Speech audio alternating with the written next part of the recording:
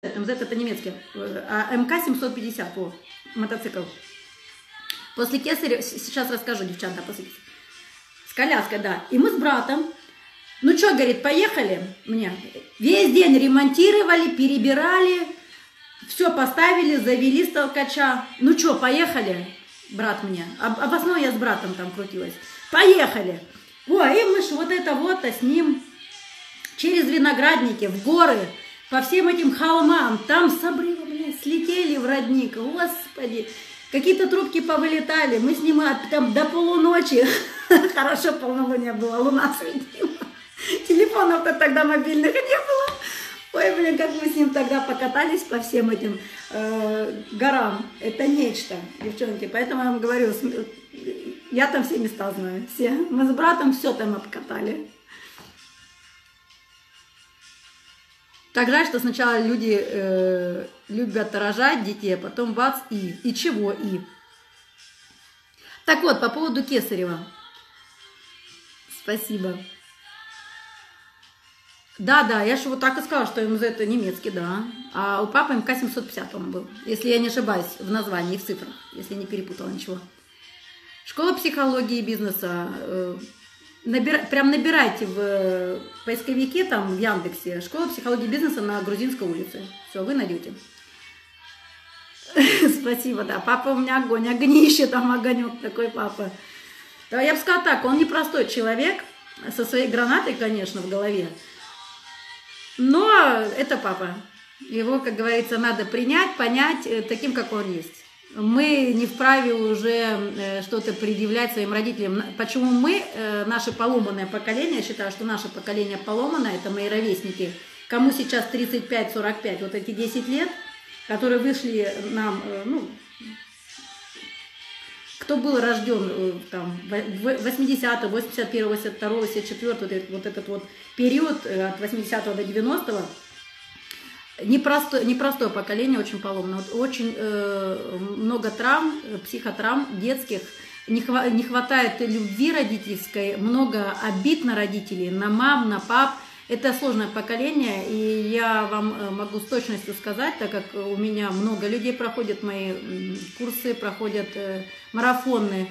Э, сейчас в клубе это тысячи людей. За то время, что я веду марафоны, прошли более 50 тысяч человек. Более 50. То есть, понимаете, у меня багаж уже эгегей какой. Я скажу, что наше поколение самое сложное, самое непростое столько обид, я сама не сразу их проработала себе, не сразу, честно. Скажу, было тяжело, было больно, э, было где-то даже, знаете, много отрицания. Хотелось э, понимания, хотелось любви, но я сейчас, на сегодняшний день, я все это вижу с другой стороны. И поэтому я в клубе, в марафонах, веду психологию, часто поднимаю отношения с родителями и говорю, что не нужно на них держать зла, не нужно на них обижаться. Э, если вы не можете их любить, прям искренне любить, как э, своих родителей, да, мне 39 будет в октябре.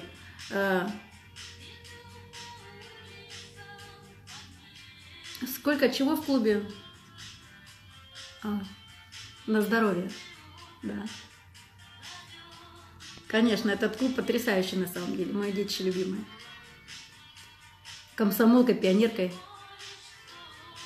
Теперь к йоге, к медитации, да, ну и к психологии в том числе, да, девчонки. Но йога это не лишнее, честно скажу. Я же не веду вас йогу как э, отказаться от своей религии и э, предать себя и свою религию. Нет, это работа с телом. Для меня йога как терапия, йога-терапия, вот так я это назвала. Чин-чин, да.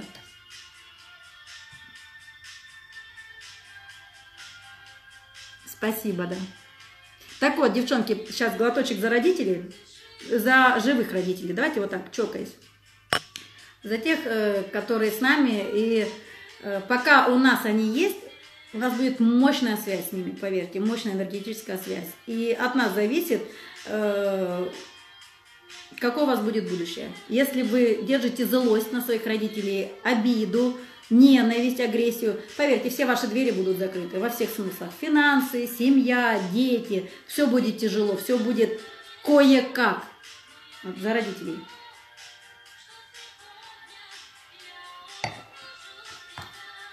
Какой любимый парфюм? Верту.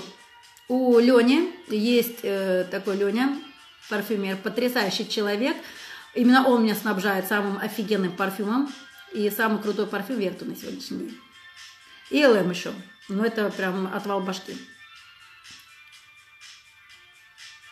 Мне 14, покрасить волосы фиолетовым, мама против. Что делать?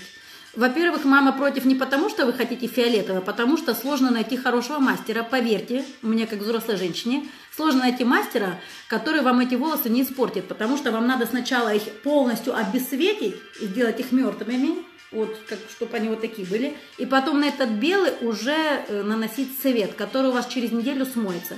Если у вас есть такой мастер, а это обычно дорого, вот хорошая покраска обойдется в тысяч, от 10 до 20, поверьте, хороший колорист, который вам сделает круто и не испортит волосы, это дорого.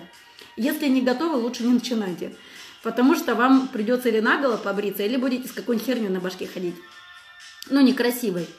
Если есть хороший мастер, который действительно вам сделает красиво, то да.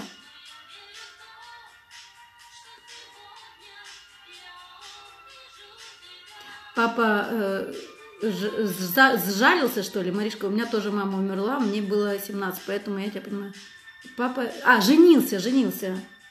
Ну, а куда ему, если у меня тоже папа женился? И нормально, чувак, что, что, один, что ли, будет жить? Ну, давайте будем честны. Вы ж... Я глухая, как можно общаться с вами? Буду учить язык глухонемых. Не, я без шуток, у меня есть такая цель. Сейчас я отвечу. А, у меня тут прикреплен.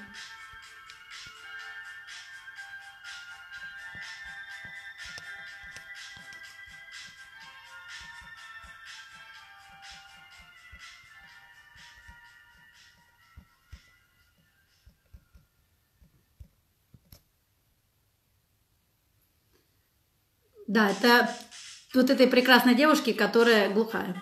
Я ответила. Давайте ей пожелаем чего-нибудь хорошего, ребята.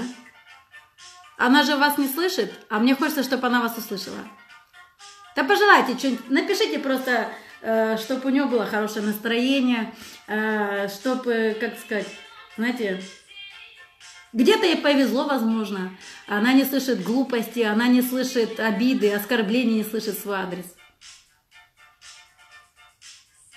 Хотим приехать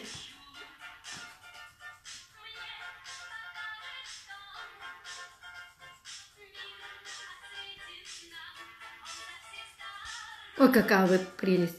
Прошла седьмой